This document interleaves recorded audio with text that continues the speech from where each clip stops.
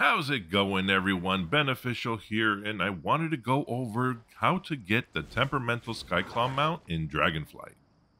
Now, there are two ways you can go about it. The first way is to farm all the required items, which is what I did.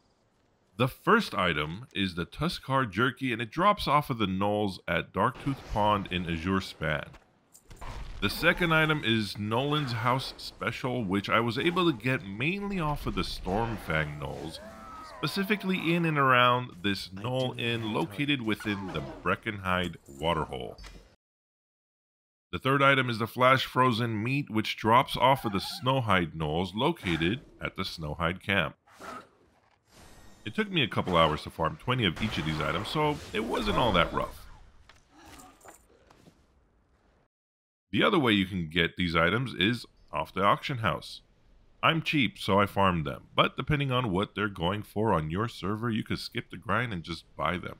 It would have cost me about 9400 gold just to buy everything, but like I said, I'm cheap.